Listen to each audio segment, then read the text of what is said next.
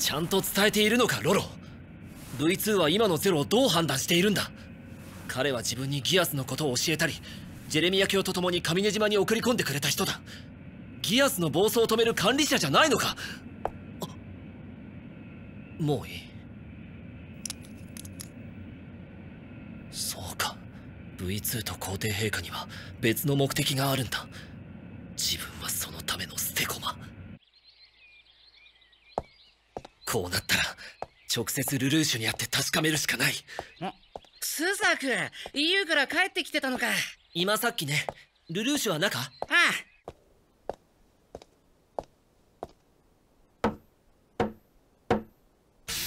あ。れ？なんだ？こっちに戻ってくるのなら電話ぐらい。ん？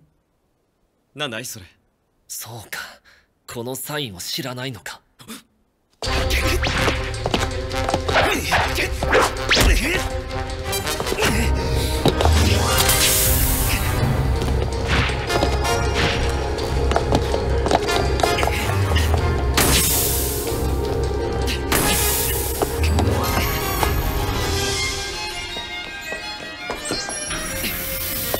ルルーシュ・ランペルージュは今どこにいる？特に異常はありません。どこだと聞いている？ビレッタ隊長は弟役はどうした？ですから報告すべき異常はありませんが。いつも通りですよ。そうか。機密情報局全員に